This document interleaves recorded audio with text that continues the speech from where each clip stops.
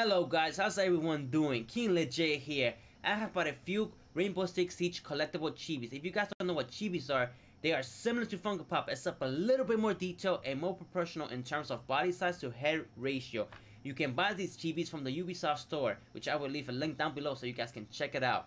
So, the first operator that we're starting off with, it is Ash. Let's get started and check her out.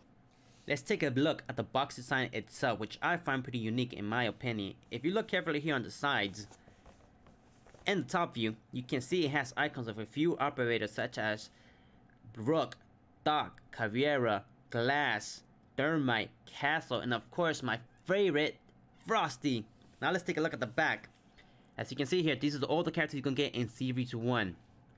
Hopefully in the future, they come up with more operators such as Frosty, which I would love to own a Frosty, maybe Hibana as well, Valkyrie, etc.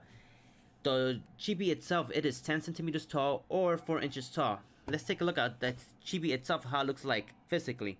When you first open the box, it will bring this code, which is redeemable to unlock a unique charm in-game, which is only obtainable when you buy the chibi itself. You cannot buy this charm in-game. It is also very strict because it will ask you specifically for which system you want to redeem this code. So you have to be very sure of your decision. Let's take a look at the chibi itself. So far, what I like so far right off the bat, it is well designed. It has her colors exactly like she has it in game. The only thing that I found weird is the hat design itself right here. As you can see, it says Ash instead of saying FBI like she has it in the game. But you can see she has her gadget here, which she could use to breach through walls. If you look here on the side, it has the logo of the USA flag, which they look like to put really good details on it because it's, it's very clear. It's very clear. She has her knee pads here as well. She has a nice, beautiful pose right here, like she's ready to go into action. Her little pointer here hanging in the back. It is well designed, guys. Like the colors on point. I can't, I can't complain. It looks just like her in the game. Her hairstyle, her hat. That is, it's pretty damn cool. If you take a look here in the bottom, it has the logo of the Rainbow Six Siege game. It's pretty official for me, in my opinion. It's pretty official. Let's take a look at how the charm on in-game looks like. Let's go! So this is how the unique charm looks like in-game. It looks exactly like a chibi itself, except it has a little bit more glare on the sunglasses, and her eyes look like they're full of energy. She looks she actually looks happier in here.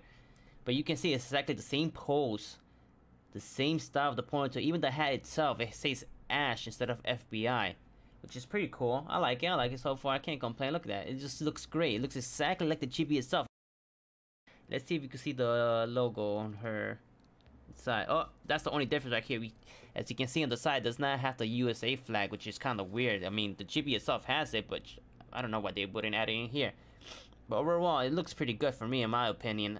I just noticed something cool, which I forgot to mention, because I did not notice till the end of the video. That platform she's standing on is actually removable, which I love this. It's amazing. It gives her more freedom. She's not stuck to some platform, if you get what I mean. If you like this video, give me a thumbs up. And don't be afraid to smash that subscribe button. I will greatly appreciate it. Also, make sure to leave your comments down below on what you think of Ash the Chibi. Thank you guys for watching like always. Peace out.